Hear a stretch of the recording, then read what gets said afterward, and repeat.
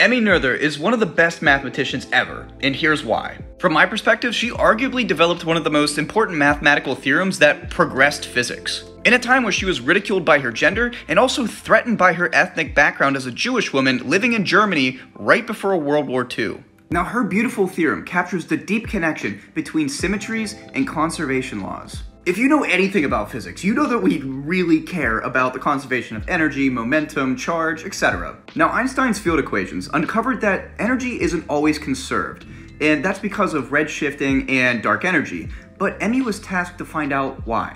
She found that quantities like energy can only be conserved in systems that follow the principle of least action, only if a continuous symmetry is identified meaning that conserved quantities comes from symmetries. For example, you can rotate in any direction from an origin point, and the laws of the universe remain unchanged. This rotational symmetry results in the conservation law of